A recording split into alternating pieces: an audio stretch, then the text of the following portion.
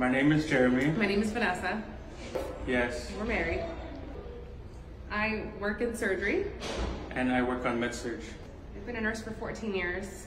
I've been a nurse for nine years. I love serving God with my uh, skills.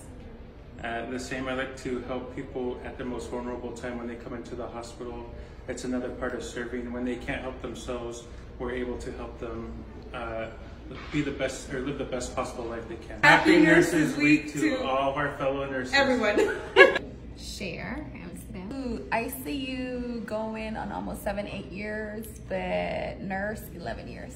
In two years, one year as a travel nurse and start going on one year as staff.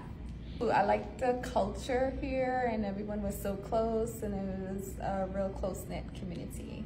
Um, on the patients and doing all the crazy stuff to help them with the pressors, the drips, the vents, and then seeing them recover. That brings my heart great joy. Happy Nurses Week to all my fellow nurses!